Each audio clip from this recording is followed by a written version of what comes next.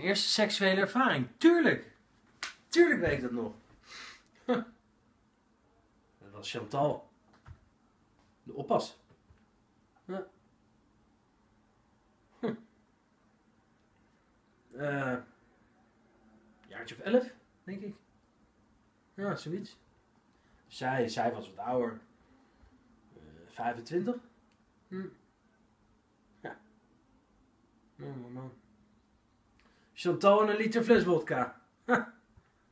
Huh? Nee joh, Wous, je hebt niet opgezopen. Het was 11, doe even normaal man.